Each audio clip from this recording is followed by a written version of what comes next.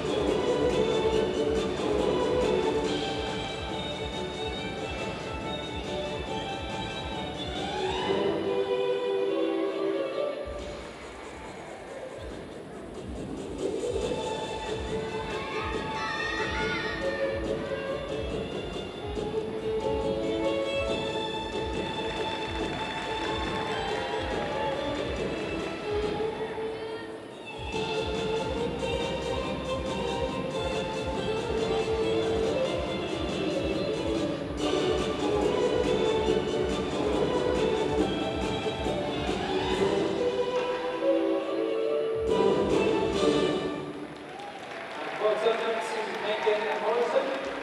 representing